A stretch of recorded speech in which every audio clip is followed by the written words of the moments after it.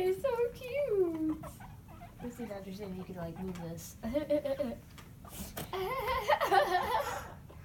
oh, oh, she sneezed. they seem like they're in fast, like fast motion. You know, someone's fast forwarding.